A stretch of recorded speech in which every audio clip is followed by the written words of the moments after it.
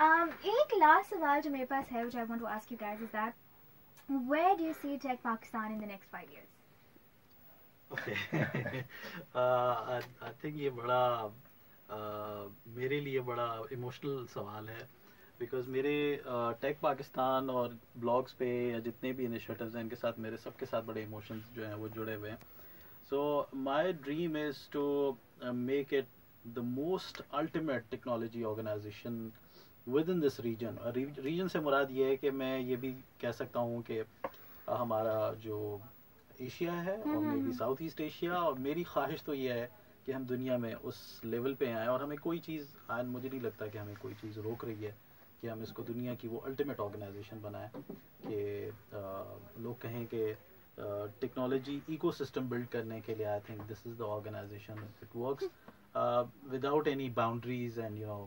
اور اس کو ہم اتنا بڑا بنا لیں انشاءاللہ۔ انشاءاللہ انشاءاللہ۔ ذیشان صاحب where do you see Tech Pakistan in the next five years? میں سمجھتا ہوں ٹیک پاکستان جو جو ایکچولی اسٹارٹ کرنے کی کوئی کوئی چیز ہوتی ہے ٹریگر ہوتا ہے۔ I mean when you are you are beginning your journey the starting point is very important the aeroplane runs on the runway and then takes off so take Pakistan اگلے پانچ سالوں میں یہ رن وے پہ اس انڈسٹری کو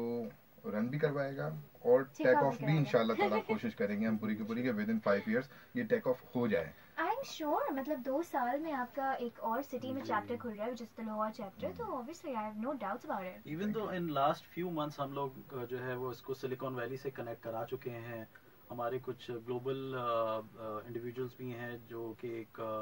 authority مانے جاتے ہیں دنیا میں وہ ہمارے ایڈوائزری بورڈ پہ ہیں